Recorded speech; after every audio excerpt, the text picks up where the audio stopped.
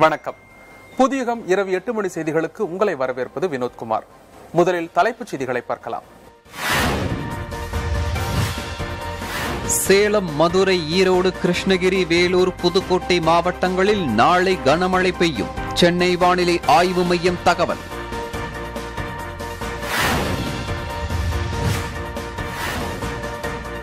மன்னார் வளைகுடா மற்றும் கேரள கடல் பகுதிகளில் மணிக்கு ஐம்பது கிலோமீட்டர் வேகத்தில் சூறை காற்று வீசும். மீனவர்கள் மீன்பிடிக்க செல்ல வேண்டாம் என எச்சரிக்கை.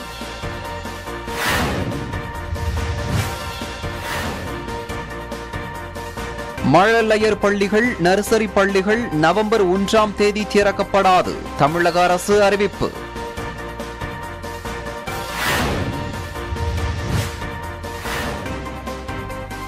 தமிழகம் முழுவதும் ஐம்பதாயிரம் மையங்களில் நடைபெற்ற ஆறாவது மெகா தடுப்பூசி முகாம்.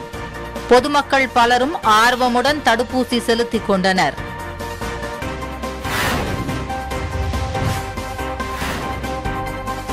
தமிழக பொதுத்துறை நிறுவன ஊழியர்களுக்கு பத்து சதவீதம் வரை தீபாவளி போனஸ். தமிழக அரசு அறிவிப்பு.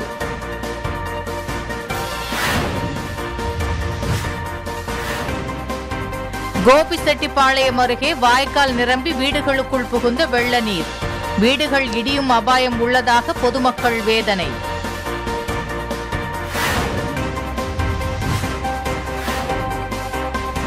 கனமழை காரணமாக ஊட்டி மலை ரயில் பாதையில் மண் சரிவு. இருப்பு பாதையில் பாறைகள் விழுந்துள்ளதால் ரயில் போக்குவரத்து ரத்து.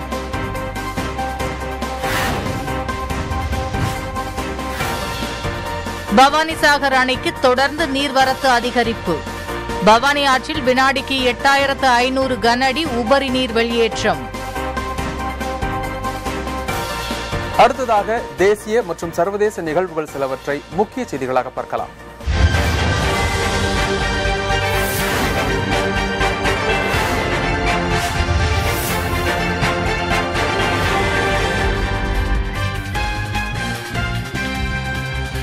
இந்தியாவில் கொரோனாவால் பாதிக்கப்பட்டோரின் மீட்பு விகிதம் தொன்னூத்தெட்டு புள்ளி ஒன்று ஆறு சதவீதமாக அதிகரித்துள்ளது என சுகாதாரத்துறை தகவல் தெரிவித்துள்ளது.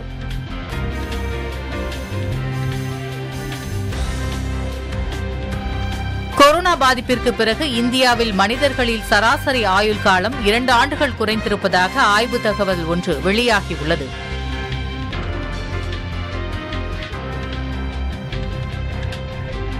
குழந்தைகளுக்கான கொரோனா தடுப்பு மருந்து தயார் என பாரத் பயோடெக் நிறுவனம் அறிவித்துள்ளது.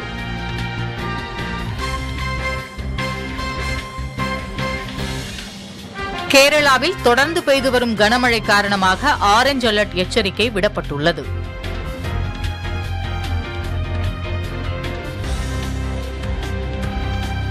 கேரளாவில் மழை வெள்ளம் மற்றும் நிலச்சரிவில் சிக்கி உயிரிழந்தோரின் குடும்பத்தினருக்கு ஜப்பான் பிரதமர் கிஷிடோ இரங்கல் தெரிவித்து பிரதமர் மோடிக்கு கடிதம் எழுதியுள்ளார்.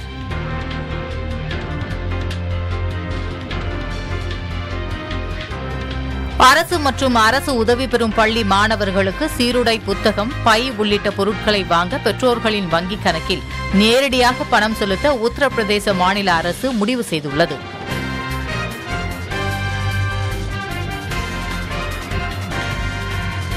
மூன்று நாள் பயணமாக ஜம்மு காஷ்மீர் சென்றுள்ள உள்துறை அமைச்சர் அமித்ஷா பாதுகாப்பு நிலவரம் குறித்து ஆலோசனை நடத்தினார்.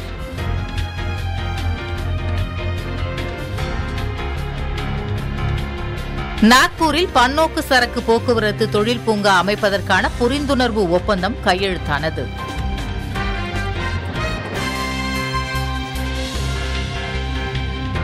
மண்டேலா திரைப்படத்தை தொடர்ந்து தமிழ் படமான கூழாங்கலும் ஆஸ்கருக்கு பரிந்துரை செய்யப்பட்டுள்ளது. இனி விரிவான செய்திகள் தொடர்கின்றன.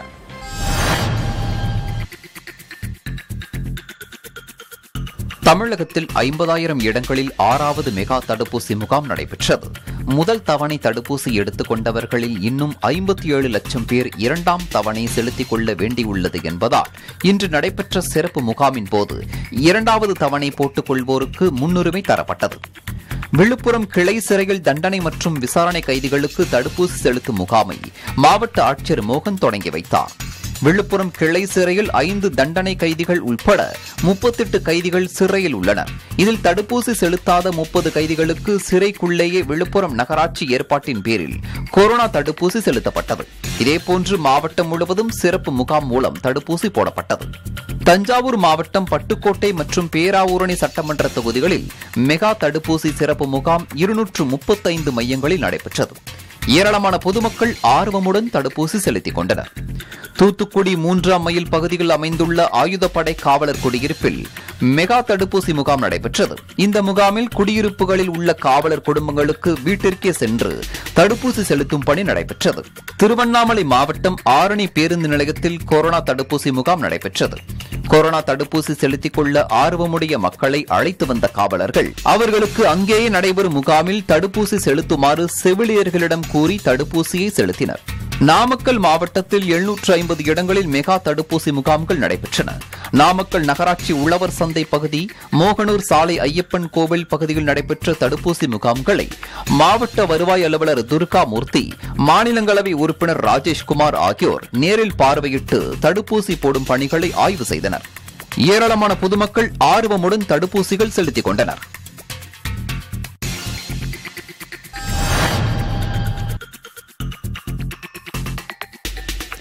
அரசு பொதுத்துறை நிறுவனங்களில் பணியாற்றும் சி டி பிரிவு தொழிலாளர்களுக்கு பத்து சதவிகித தீபாவளி போனஸ் மற்றும் கருணைத் தொகை வழங்கப்படும் என அறிவிக்கப்பட்டுள்ளது.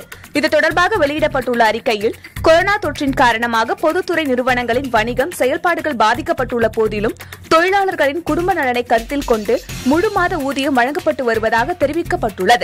அனைத்து பொதுத்துறை நிறுவனங்களில் பணிபுரியும் சி மற்றும் டி பிரிவு தொழிலாளர்கள் பணியாளர்களுக்கு எட்டு புள்ளி ஐந்து விழுக்காடு போனஸ் ஒன்று புள்ளி ஆறு ஏழு விழுக்காடு கருணைத் தொகை வழங்கப்படும் என அறிவிக்கப்பட்டுள்ளது.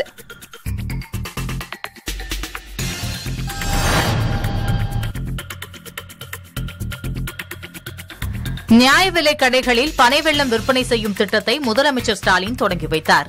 சென்னை தலைமைச் செயலகத்தில் கைத்தறி மற்றும் ஊரக தொழில்துறை சார்பில் பல்வேறு திட்டங்களை காணொலி காட்சி மூலமாக முதலமைச்சர் தொடங்கி வைத்தார். அதன்படி நியாய விலை கடைகளில் பனை வெள்ளம் விற்பனை தொடங்கப்பட்டுள்ளது.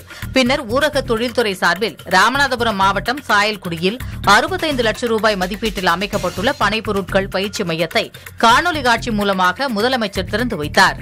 காதி கிராப்ட் பொருட்களை விற்பனை செய்வதற்காக டிஎன் காதி என்ற புதிய செயலியும் தொடங்கப்பட்டுள்ளது.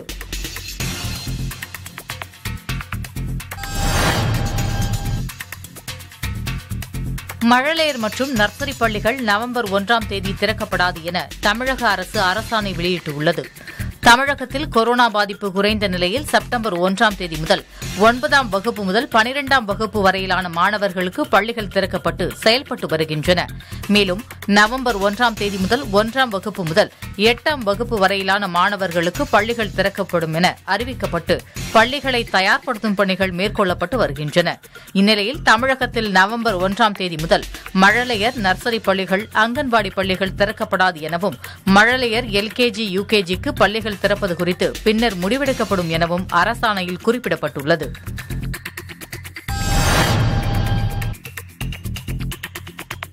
வளிமண்டல மேலடுக்கு சுழற்சி காரணமாக தமிழகத்தின் பல்வேறு பகுதிகளில் ஐந்து நாட்களுக்கு கனமழை பெய்ய வாய்ப்புள்ளதாக சென்னை வானிலை ஆய்வு மையம் தெரிவித்துள்ளது.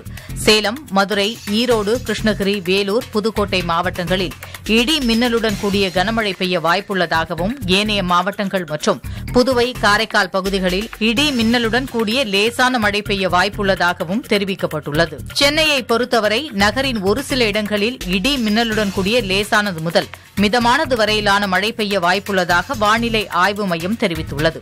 அதேபோல மன்னார் வளைகுடா தமிழக கடலோர பகுதிகள் மற்றும் தென்மேற்கு வங்கக்கடல் பகுதிகளில் மணிக்கு நாற்பது முதல் ஐம்பது கிலோமீட்டர் வேகத்தில் காற்று வீசக்கூடும் என்பதால் மீனவர்கள் இந்த பகுதிக்கு செல்ல வேண்டாம் என சென்னை வானிலை ஆய்வு மையம் தெரிவித்துள்ளது.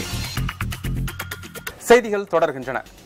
தரம் உயர்த்தப்படவுள்ள தாராபுரம் அரசு மருத்துவமனை சீர்காழி காவலரின் சிறப்புமிக்க செயல் ஆயிரக்கணக்கான பக்தர்கள் கலந்து கொண்ட கிருத்திகை திருவிழா உள்ளிட்ட செய்திகளை தற்போது பார்க்கலாம்.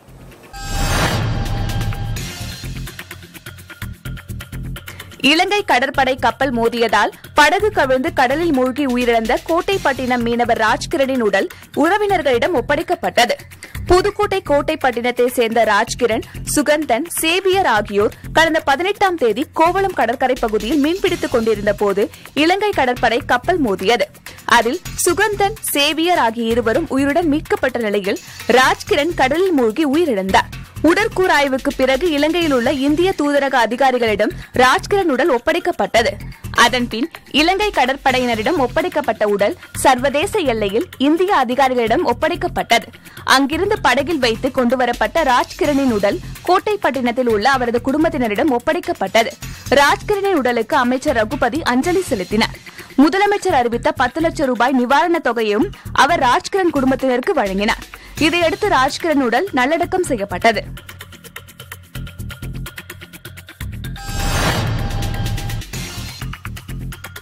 பவானிசாகர் அணை நீர்பிடிப்பு பகுதிகளில் தொடர்ந்து கனமழை பெய்து வருவதால் பவானிசாகர் அணைக்கு நீர்வரத்து அதிகரித்துள்ளது. இதன் காரணமாக அணையிலிருந்து உபரி நீர் வெளியேற்றம் அதிகரிக்கப்பட்டுள்ளது. ஈரோடு மாவட்டத்தின் முக்கிய நீர் ஆதாரமாக விளங்கும் பவானிசாகர் அணையில் நீர்மட்டம் நூற்றி இரண்டு அடியாகவும் நீர் இருப்பு முப்பது புள்ளி மூன்று டிஎம்சி ஆகவும் உள்ளது. அணையின் பாதுகாப்பு கருதி அணைக்கு வரும் நீர் பவானி ஆற்றில் உபரி நீராக வெளியேற்றப்பட்டு வருகிறது. பவானி ஆற்றில் ஐயாயிரத்தி எழுநூறு கன அடி தண்ணீரும் கீழ் பவானி வாய்க்காலில் இரண்டாயிரத்தி முன்னூறு கன அடி தண்ணீரும் என மொத்தம் எட்டாயிரத்து ஐநூறு கன அடி தண்ணீர் வெளியேற்றப்படுகிறது. பவானி ஆற்றில் உபரி நீர் வெளியேற்றப்படுவதால் வெள்ளப்பெருக்கு ஏற்பட்டுள்ளது. ஆற்றின் கரையோரம் வசிக்கும் மக்கள் பாதுகாப்பாக இருக்குமாறு மாவட்ட நிர்வாகம் சார்பில் அறிவுறுத்தப்பட்டுள்ளது.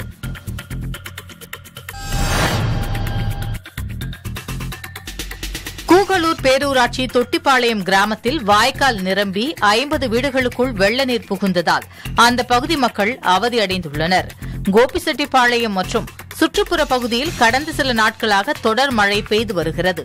இந்நிலையில் விடிய விடிய பெய்த கனமழையால் கோபிசெட்டிப்பாளையம் அருகே உள்ள தொட்டிப்பாளையம் பகுதியில் கூகலூர் கிளை வாய்க்கால் மற்றும் தடப்பள்ளி வாய்க்கால் நிரம்பி தண்ணீர் வெளியேற தொடங்கியது. இந்நிலையில் அந்த பகுதியைச் சேர்ந்த சில விவசாயிகள் விவசாய நிலங்களுக்குள் தண்ணீர் செல்லாதவாறு வாய்க்காலிலேயே வைக்கோல் கற்களை கொண்டு தடுப்பு ஏற்படுத்தியுள்ளனர். தடுப்பு ஏற்படுத்தியதால் வாய்க்கால் தண்ணீர் ஊருக்குள் புகுந்துள்ளது. சுமார் ஐம்பதுக்கும் மேற்பட்ட வீடுகளுக்குள் மழைநீருடன் வாய்க்கால் தண்ணீரும் புகுந்துள்ளது. அதைத் தொடர்ந்து வீடுகளுக்குள் தேங்கிய தண்ணீர் மற்றும் வாய்க்கால் நடுவில் அடைக்கப்பட்ட கற்கள் மற்றும் வைக்கோல்களை பொதுமக்கள் அகற்றினர். மேலும் உடனடியாக வாய்க்காலை தூர்வாரினால் மட்டுமே வீடுகளில் வசிக்க முடியும் எனவும் வாய்க்கால் தண்ணீரானது வீடுகளின் அஸ்திவாரத்திற்குள் புகுந்து வெளியேறி வருவதால் வீடுகள் இடியும் அபாயம் உள்ளதாக பொதுமக்கள் வேதனையுடன் தெரிவித்தனர். சுற்றி ஐம்பது வீடாட்டம் இருக்குதுங்க எல்லா வீட்லேயும் தண்ணி.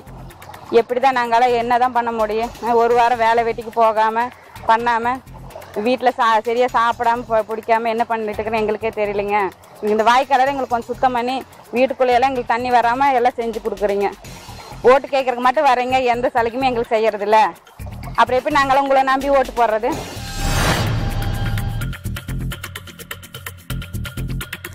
திருத்தணி முருகன் கோவிலில் நடந்த கிருத்திகை விழாவில் ஆயிரக்கணக்கான பக்தர்கள் நீண்ட வரிசையில் காத்திருந்து மூலவரை தரிசித்தனர். திருவள்ளூர் மாவட்டம் திருத்தணி முருகன் கோவிலில் ஐப்பசி மாத கிருத்திகை விழாவை ஒட்டி அதிகாலை ஐந்து மணிக்கு மூலவருக்கு சிறப்பு அபிஷேகம் நடைபெற்றது. இதனைத் தொடர்ந்து தங்கவேல் தங்க கிரீடம் மற்றும் வைர ஆபரணங்கள் அணிவித்து சிறப்பு தீபாரணை நடைபெற்றது. பொதுவழி மற்றும் சிறப்பு தரிசன கட்டண வழியில் பக்தர்கள் நீண்ட வரிசையில் காத்திருந்து மூலவரை தரிசனம் செய்தனர். சில பக்தர்கள் தங்களது வேண்டுதலை நிறைவேற்ற மொட்டையடித்தும் காவடிகள் எடுத்தும் வழிபட்டனர்.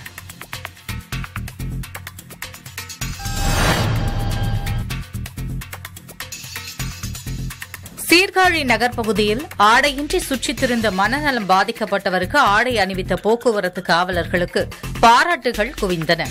மயிலாடுதுறை மாவட்டம் சீர்காழியில் ஆடையின்றி சுற்றித் திரிந்த மனநலம் பாதிக்கப்பட்ட நபரை பொதுமக்கள் முகசுழிப்புடன் கடந்து சென்றனர். இதனை கண்ட போக்குவரத்து ஆய்வாளர் பிறைச்சந்திரன் தலைமையிலான காவலர்கள் மனநலம் பாதிக்கப்பட்டவரிடம் சமயோசிதமாக பேசி புதிய ஆடை அணிவித்தனர். போக்குவரத்து காவலர்களின் மனிதநேய செயலுக்கு காவல்துறை அதிகாரிகள் மற்றும் பொதுமக்கள் பாராட்டு தெரிவித்தனர்.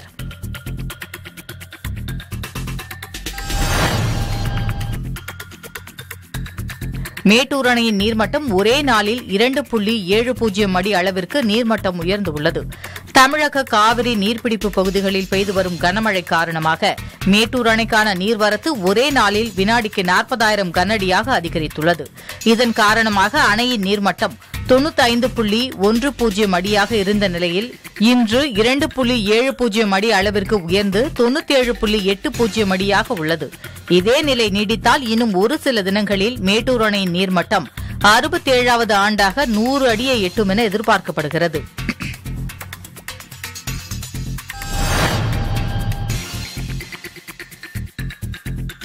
கேரளாவில் டீசல் மற்றும் பெட்ரோல் விலை அதிகமாக உள்ளது.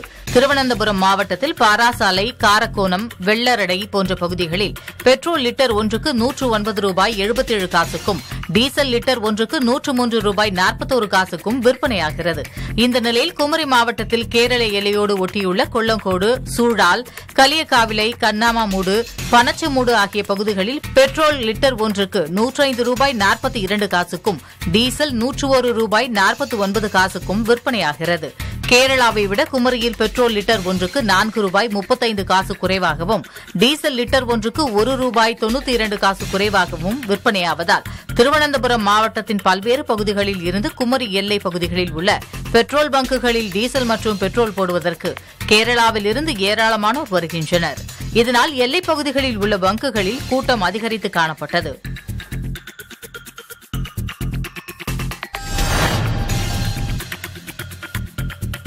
ராமநாதபுரம் மாவட்டம் நயினார்கோவில் வட்டாரம் பாண்டியூர் கிராமத்தில் தேசிய வேளாண்மை வளர்ச்சி திட்டத்தின் கீழ் உழவர் உற்பத்தியாளர் குழுவிற்கான திருந்திய நெல் சாகுபடி இயந்திர நடவு இன்று நடைபெற்றது. நயினார்கோவில் வட்டாரத்தில் நாற்பது ஏக்கர் பரப்பளவில் திருந்திய நெல் சாகுபடி இயந்திர நடவு இலக்கு நிர்ணயிக்கப்பட்டுள்ளது. வல்லம் உழவர் உற்பத்தியாளர் குழுவின் தலைவர் திரு தேவராஜ் இயந்திர நடவிற்கான நாற்றுகளை உற்பத்தி செய்து வருகிறார்.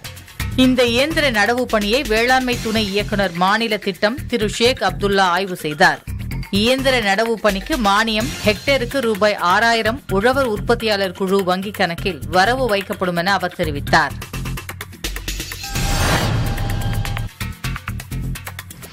கிருஷ்ணகிரி மாவட்டம் போச்சம்பள்ளி வட்டாட்சியர் அலுவலகத்திற்கு பட்டா சிட்டா மாற்றம் குடும்ப அட்டை பெறுதல் முதியோர் உதவித்தொகை உள்ளிட்ட பல்வேறு பணிகள் காரணமாக நாளொன்றுக்கு ஆயிரத்திற்கும் மேற்பட்ட பொதுமக்கள் வந்து செல்கின்றனர். பொதுமக்கள் அமர்வதற்காக அமைக்கப்பட்டிருந்த காத்திருப்போர் கூடத்தை தற்போது ஆதார் மையமாக மாற்றப்பட்டுள்ளதால் பொதுமக்கள் அமர இடமின்றி மரத்தடி மற்றும் தரையில் அமர்கின்றனர். இந்நிலையில் அலுவலகத்தின் முன்பகுதியிலும் இரண்டு நுழைவு வாயிலில் ஒரு நுழைவு பகுதி முழுவதும் புதர் மண்டி வழியே தெரியாத வண்ணம் உள்ளது. இந்த புதர்களில் விஷ ஜந்துக்கள் இருக்க வாய்ப்புள்ளதால் அச்சப்படும் பொதுமக்கள் புதர்களை அகற்றி இரண்டு நுழைவு வாயிலையும் பயன்பாட்டிற்கு கொண்டு வர வேண்டுமென பொதுமக்கள் கோரிக்கை வைக்கின்றனர்.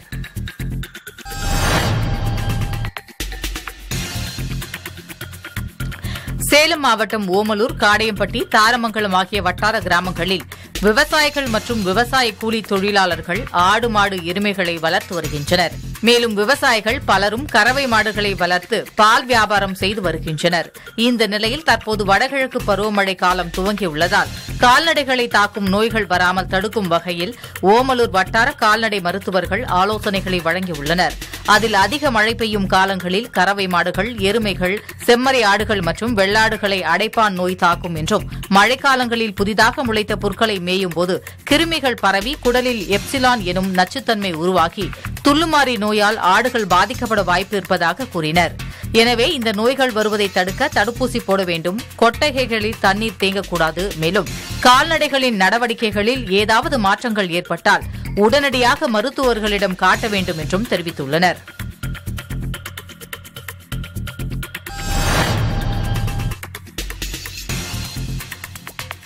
பழனி அருகே தொப்பம்பட்டியில் வேளாண்மை மற்றும் உழவர் நலத்துறை சார்பில் மாநில விரிவாக்க திட்டங்களுக்கான உறுதுணை சீரமைப்பு திட்டத்தின் கீழ் உழவர் விழா நடைபெற்றது. உணவு மற்றும் உணவுப் பொருள் வழங்கல் அமைச்சர் சக்கரபாணி தலைமையில் நடைபெற்ற இந்த விழாவில் விவசாயிகளுக்கு வேளாண்மை சார்ந்த புதிய தொழில்நுட்ப விளக்கங்களை வேளாண் தொழில்நுட்ப வல்லுநர்கள் வழங்கினர். மேலும் வேளாண் துறை கால்நடைத்துறை சார்பில் நடைபெற்ற கண்காட்சியை அமைச்சர் பார்வையிட்டார். பின்னர் வேளாண் கருவிகள் இடுபொருட்கள் ஐம்பது சதவீத மானியத்தில் விவசாயிகளுக்கு வழங்கப்பட்டது. முன்னதாக பூலாம்பட்டி கிராமத்தில் ஐம்பத்தைந்து லட்சம் மதிப்பிலான பத்தாயிரம் லிட்டர் கொள்ளளவு கொண்ட பால் குளிர்வூட்டு மையத்தை அமைச்சர் திறந்து வைத்தார். செய்திகள் தொடர்கின்றன. தடுப்பூசி முகாமில் பரிசாக வழங்கப்படும் எவர் சில்வர் தட்டு பல்வலி ஏற்பட்டால் நூலகத்திற்கு செல்லும் பொதுமக்கள் ராஜபாளையத்தில் பறிமுதல் செய்யப்பட்ட ஐந்தாயிரத்து நானூற்றி ஐம்பது கிலோ ரேஷன் அரிசி உள்ளிட்ட செய்திகளை தற்போது பார்க்கலாம். நீலகிரி மாவட்டம் கூடலூர் சுற்றுவட்டார பகுதியில் பெய்த மழை காரணமாக நீரோடைகளில் வெள்ளப்பெருக்கு ஏற்பட்டுள்ளது. வெள்ள நீரானது சாலைகள் மற்றும் விவசாய நிலங்களுக்குள் புகுந்ததால் மக்கள் கடுமையாக பாதிக்கப்பட்டுள்ளனர். முதுமலை வனப்பகுதியில் உள்ள கள்ளஞ்சேரி பகுதியில் பெய்த கனமழையில் மணி என்பவரது வீட்டின் மீது மரம் விழுந்து வீடு சேதமடைந்தது. இதில் வீட்டில் இருந்தவர்களுக்கு அதிர்ஷ்டவசமாக எந்தவித காயமும் ஏற்படவில்லை. கள்ளஞ்சேரி பகுதியில் பெய்த கனமழை காரணமாக வாழை மரங்கள் சேதமடைந்தன.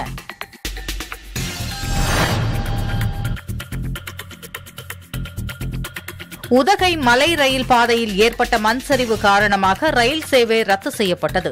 அடர்லி மற்றும் ஹில்க்ரோவ் ரயில் நிலையங்களுக்கு இடையே மலைப்பகுதியில் பெய்த கனமழை மற்றும் பலத்த காற்று காரணமாக மண் மற்றும் பாறைகள் சரிந்துள்ளது. மண் சரிவு ஏற்பட்டதில் மண் மற்றும் பாறைகள் சரிந்து மலை ரயில் பாதை மூடப்பட்டதோடு தண்டவாளங்களும் சேதமடைந்துள்ளது.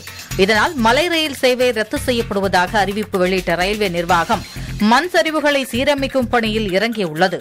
முப்பதற்கும் மேற்பட்ட ரயில்வே ஊழியர்கள் இரும்பு பாதையில் விழுந்துள்ள பாறைகள் மற்றும் சகதிகளை அப்புறப்படுத்தும் பணியில் ஈடுபட்டு வருகின்றனர்.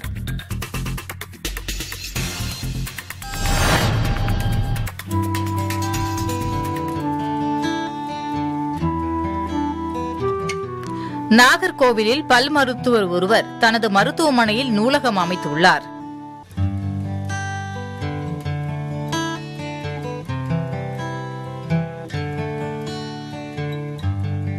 புத்தக வாசிப்பு பழக்கத்தை இளைஞர்கள் மத்தியில் கொண்டுவர கன்னியாகுமரி மாவட்டம் நாகர்கோவிலைச் சேர்ந்த பல் மருத்துவர் பெரில் தனது மருத்துவமனையில் நூலகம் ஒன்றை அமைத்துள்ளார்.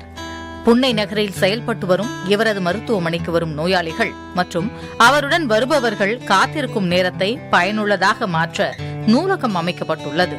இந்த நூலகத்தில் தமிழ் இலக்கியம் தமிழ் நாவல்கள் பொது அறிவு புத்தகங்கள் ஆங்கில நாவல்கள் வரலாற்று ஆய்வு குறிப்புகள் மனநலம் சார்ந்த புத்தகங்கள் மருத்துவம் சார்ந்த புத்தகங்கள் குழந்தைகளுக்கான புத்தகம் மத நல்லிணக்க புத்தகங்கள் என ஐநூறுக்கும் மேற்பட்ட புத்தகங்கள் உள்ளன. இந்த நூலகத்தில் சுமார் ஐம்பது பேர் உறுப்பினர் அட்டை பெற்று தினசரி புத்தகங்களை எடுத்துச் செல்கின்றனர். பேஷண்ட்ஸ் வருவாங்க அவங்க கூட வரவங்க அவங்க வந்து காத்திருக்கிறக்கூடிய நேரம் வந்து கொஞ்சம் அதிகமாக இருக்கும். அப்போ அந்த நேரத்தில் அவங்க அதை மொபைல் பார்த்துட்டு பேசிட்டு அப்படி செலவு பண்ணாமல் கொஞ்சம் பயனுள்ளதாக இருக்கிறதுக்காக நான் வந்து இதை அவங்க மக்கள் பயன்பாட்டுக்காக இதை ஓப்பன் பண்ணி வச்சுருக்கேன். இது குறித்து மருத்துவர் பெரில் கூறுகையில் புத்தக வாசிப்பு பழக்கத்தை இளைஞர்கள் மத்தியில் கொண்டு வருவதற்கு பலரும் பல விழிப்புணர்வுகளை கையாண்டு வரும் நிலையில் தன்னால் முடிந்த ஒரு சிறிய பணியை செய்வதில் பெரும் மகிழ்ச்சி அடைவதாக கூறுகிறார். பல் மருத்துவரின் புதிய முயற்சிக்கு பல தரப்பிலிருந்தும் பாராட்டுகள் குவிந்து வருகிறது.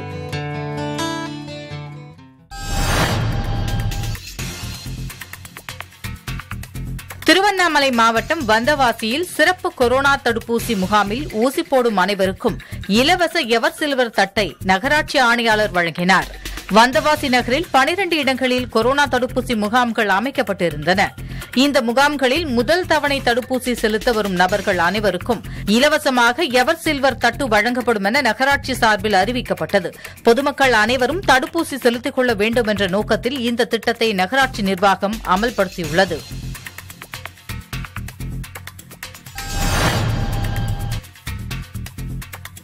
விருதுநகர் மாவட்டம் ராஜபாளையத்தில் தடை விதிக்கப்பட்ட அரிசி ஆலையில் பதுக்கி வைக்கப்பட்டிருந்த ஒன்று புள்ளி மூன்று ஆறு லட்சம் மதிப்பிலான ஐந்தாயிரத்து நானூற்று ஐம்பது கிலோ ரேஷன் அரிசியை பறக்கும் படையினர் பறிமுதல் செய்தனர்.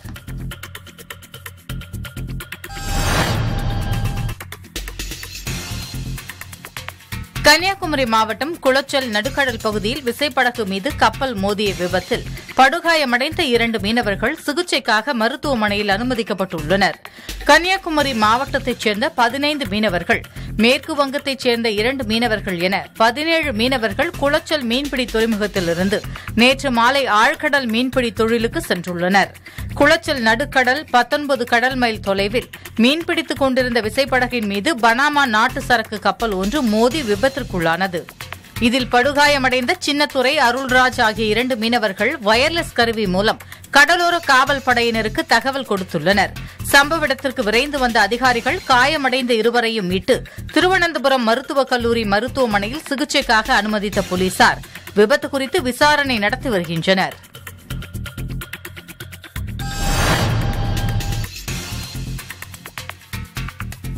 சேலம் மாவட்டம் எடப்பாடி அருகே பக்கநாடு மலை அடிவார பகுதியில் அமைந்துள்ளது கோம்புக்காடு கிராமம். இங்கு இருபதுக்கும் மேற்பட்ட குடும்பங்கள் நான்கு தலைமுறையாக அடிப்படை வசதிகள் இன்றியும் சாலை வசதி இல்லாமல் தோட்டம் வழியாக செல்கின்றனர். இதனால் ஆறு மாதங்களுக்கு முன்பு அவரவர் தோட்டங்களில் இடம் விட்டு அனைவரும் சேர்ந்து ஒன்றரை லட்சம் ரூபாய் செலவில் தற்காலிக சாலை அமைத்து பயன்படுத்தி வந்துள்ளனர். இந்நிலையில் அந்த சாலை வழியை மற்றொருவர் தோட்டக்காரர் துண்டித்துள்ளதால் பள்ளிக்கு செல்லும் குழந்தைகள் உட்பட அனைவரும் சிரமத்திற்கு ஆளாகினர். இதனை அறிந்த பூலாம்பட்டி வருவாய் ஆய்வாளர் வனஜா காவல்துறை உதவி ஆய்வாளர் முனிராஜ் அங்கு சென்று அப்பகுதி கிராம மக்களிடம் பேச்சுவார்த்தை நடத்தி அடைக்கப்பட்ட பாதையை மீண்டும் தற்காலிகமாக வழிப்பாதையாக ஏற்படுத்தி கொடுத்தனர். இதனைத் தொடர்ந்து குடிநீர் மற்றும் நிரந்தர வழிப்பாதை அமைத்துக் கொடுக்குமாறு அப்பகுதி மக்கள் கோரிக்கை விடுத்துள்ளனர்.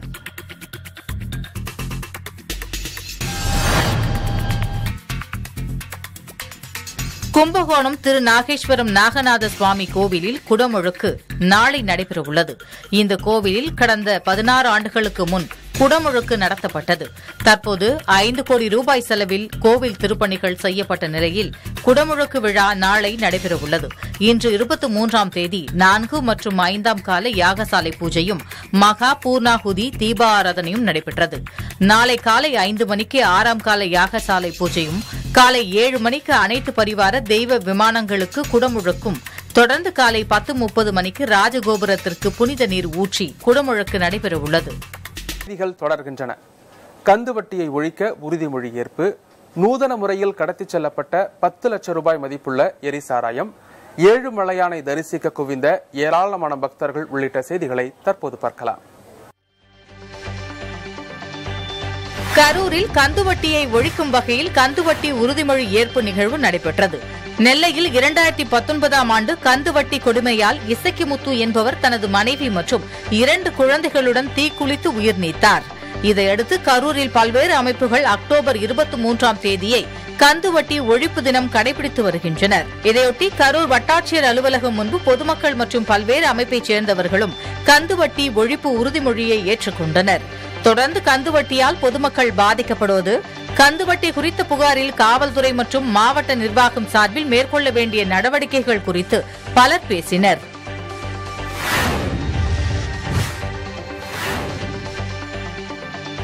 விருதுநகர் மாவட்டம் ஸ்ரீவில்லிபுத்தூர் ஆண்டாளுக்கு திருப்பதி ஏழுமலையான் பட்டு சாற்றப்பட்டது. ஆண்டுதோறும் ஸ்ரீவில்லிபுத்தூர் ஸ்ரீ ஆண்டாள் சூடி கொடுத்த மாலை கிளி பட்டு வஸ்திரம் உள்ளிட்டவைகள். புரட்டாசி பிரம்மோற்சவத்தின் ஐந்தாம் திருநாள் அன்று திருப்பதி ஏழுமலையானுக்கு சாற்றுவதற்கு கொண்டு செல்லப்படும். இதற்கு எதிர் சீராக திருப்பதி ஏழுமலையான் உகந்தனுப்பிய பட்டு ஆண்டாளுக்கு அனுப்பப்படுவது வழக்கம். இந்த பட்டு வஸ்திரத்தை ஆண்டாளுக்கு சாற்றும் வைபவம் நடைபெற்றது. இதில் ஏராளமான பக்தர்கள் கலந்து கொண்டு சுவாமி தரிசனம் செய்தனர்.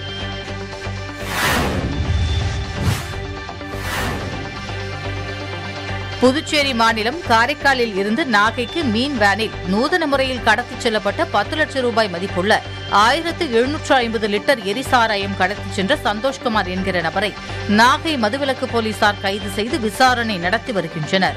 கடத்தலில் ஈடுபட்ட மேலும் சிலரை தேடி வருகின்றனர்.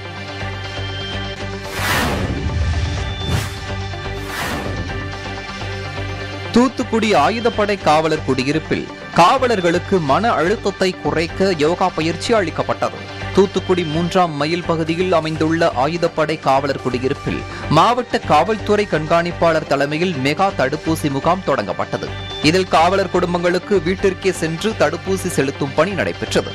மேலும் மன அழுத்தத்தை குறைக்கும் வகையில் காவலர்களுக்கு யோகா முத்திரை பயிற்சி செய்து காண்பிக்கப்பட்டது.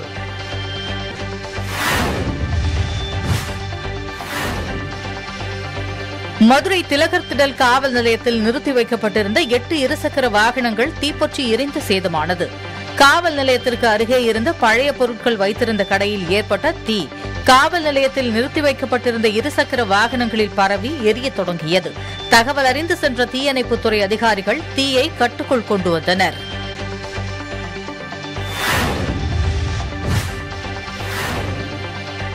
விருதுநகர் மாவட்டம் அருப்புக்கோட்டையை அடுத்த காரியாப்பட்டியில் ஆயுதப்படை காவலருக்கும் பார் உரிமையாளருக்கும் இடையே நடந்த மோதலில் காவலரின் தலையில் காயம் ஏற்பட்டது. காவல் நிலையத்தில் இருவரும் கொடுத்த புகாரின் அடிப்படையில் நான்கு பேர் மீது வழக்கு பதிவு செய்து காரியாப்பட்டி போலீசார் விசாரணை நடத்தி வருகின்றனர்.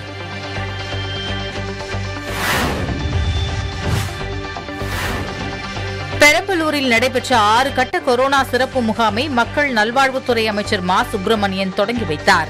பின்னர் செய்தியாளர்களிடம் பேசிய அவர் தமிழகத்தில் டெங்கு பாதிப்பு நானூறு என்ற எண்ணிக்கையின் கட்டுப்பாட்டில் உள்ளதாகவும் தேவையான தடுப்பு நடவடிக்கைகள் எடுக்கப்பட்டு வருவதாகவும் தெரிவித்தார்.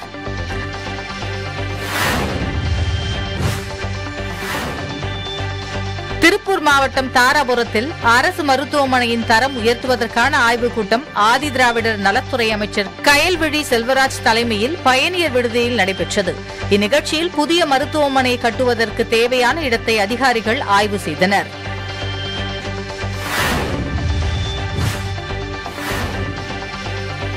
கிருஷ்ணகிரி மாவட்டம் தேன்கனி கோட்டையை அடுத்த பெட்டமுகிலாம் பஞ்சாயத்திற்குட்பட்ட ஜெயபுரம் கிராமத்தைச் சேர்ந்த விவசாயி ஐயன் இவர் தனது நிலத்தில் கஞ்சா செடிகளை பயிரிட்டுள்ளதாக வனத்துறை அதிகாரிகளுக்கு தகவல் கிடைத்துள்ளது. இதனை அடுத்து வனத்துறையினர் கஞ்சா பயிரிட்ட விவசாயியை கைது செய்தனர்.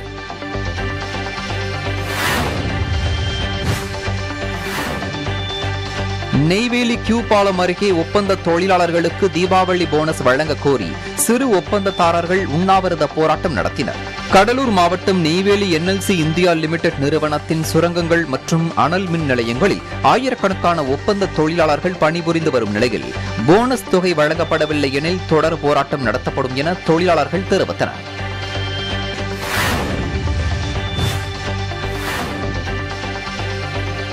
நடுக்கடலில் இலங்கை கடற்படையால் தமிழக மீனவர் கொல்லப்பட்டதை கண்டித்து ராமநாதபுரம் மாவட்டம் தங்கச்சி மடத்தை சேர்ந்த மீனவர்கள் ஆர்ப்பாட்டம் நடத்தினர். இறந்த மீனவர்களின் குடும்பத்திற்கு உரிய நிவாரணம் வழங்கவும் கடலில் மீன்பிடிக்கும் மீனவர்களுக்கு உரிய பாதுகாப்பு வழங்கிடவும் கோரி ஆர்ப்பாட்டத்தில் ஈடுபட்டனர்.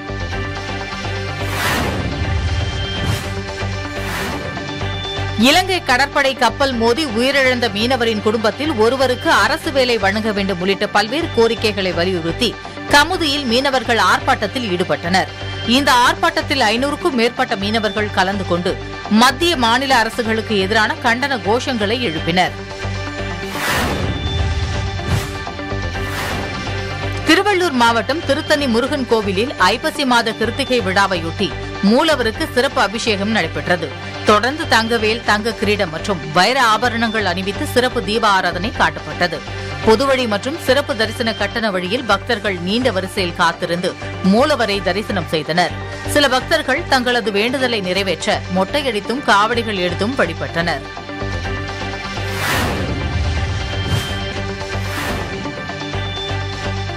நீலகிரி மாவட்டம் கூடலூரில் ஐடியல் மெட்ரிகுலேஷன் தனியார் பள்ளி செயல்பட்டு வருகிறது. இந்த பள்ளியில் பயிலும் பனிரெண்டாம் வகுப்பு மாணவர்கள் ஐந்து பேருக்கு கொரோனா தொற்று உறுதி செய்யப்பட்டுள்ளது. இதையடுத்து முன்னெச்சரிக்கை நடவடிக்கையாக பள்ளி தற்காலிகமாக மூடப்பட்டுள்ளது. தொடர்ந்து நகராட்சி பணியாளர்கள் பள்ளி வளாகத்தில் கிருமி நாசினி தெளித்து நோய் தடுப்பு நடவடிக்கைகளை மேற்கொண்டு வருகின்றனர்.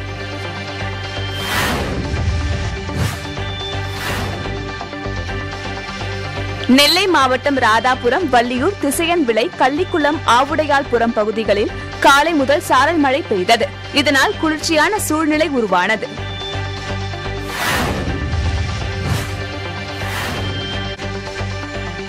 மாவட்டம் உடுமலை அருகே திருமூர்த்தி அணையின் முக்கிய நீராதாரமாக விளங்கும் காந்தூர் கால்வாய் வனவிலங்குகள் தண்ணீர் குடிக்க வரும்பொழுது தவறி விழுந்து விடுகின்றன. கால்வாய் உயரமானதாக இருப்பதால் நீரில் அடித்து செல்லப்பட்டு விலங்குகளின் உடல்கள் இறுதியாக அணைக்கு வந்து சேர்கின்றன. அவ்வாறு கடமான் ஒன்று இறந்த நிலையில் அணைப்பகுதியில் மிதப்பதை பார்த்த வனத்துறையினர் விரைந்து சென்று உடலை மீட்டு கரைப்பகுதியில் புதைத்தனர்.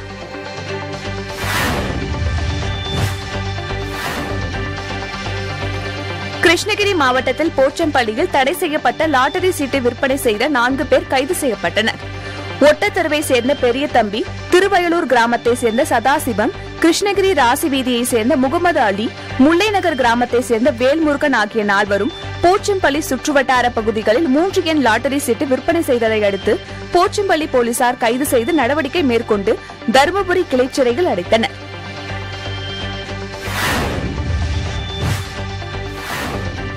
பள்ளிகள் திறப்பை முன்னிட்டு மயிலாடுதுறை மாவட்டத்தில் செயல்படும் பள்ளிகளின் வாகனங்களை மாவட்ட ஆட்சியர் ஆய்வு செய்தார். தமிழகத்தில் நவம்பர் ஒன்றாம் தேதி முதல் அனைத்து பள்ளிகளும் செயல்பட தொடங்கும் என அரசு அறிவித்துள்ளது. இதையொட்டி மயிலாடுதுறை மாவட்டத்தில் இயங்கும் பள்ளிகளில் உள்ள பேருந்துகளை ஆய்வு செய்யும் பணி தொடங்கியது. அந்த வகையில் மயிலாடுதுறை மாவட்டத்தில் உள்ள எழுபத்து மூன்று பள்ளிகளைச் சேர்ந்த நானூற்று அறுபது பள்ளி பேருந்துகள் மன்னம்பந்தலில் உள்ள தனியார் கல்லூரி மைதானத்தில் நிறுத்தப்பட்டு சோதனை நடைபெற்றது. வட்டார போக்குவரத்து அலுவலர் நாகராஜன் முன்னிலையில் நடைபெற்ற இந்த ஆய்வில் மாவட்ட ஆட்சியர் ஈரா லலிதா பங்கேற்று பேருந்துகளை பார்வையிட்டார். இத்துடன் செய்திகள் நிறைவடைகின்றன. புதியுகத்தின் அடுத்த செய்தி தொகுப்பு நாளை காலை எட்டு மணிக்கு. வணக்கம்.